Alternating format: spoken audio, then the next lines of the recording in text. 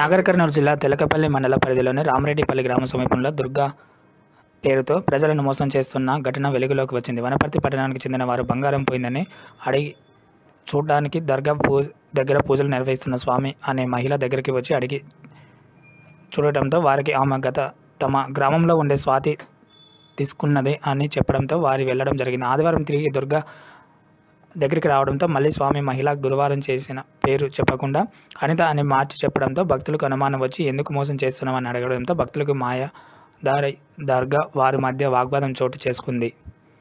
ఇలాంటి వారిని నమ్మరాదని మరి ఇప్పటి నుంచి ఎవరికి కూడా చూడరాదని దుర్గా వారికి పోలీసులు హెచ్చరించారు. మన నమ్మకం ఏంటంటే వీళ్ళు తీసుకున్నారు రెండు లక్షలు వాళ్ళు ఏదో దొరికింది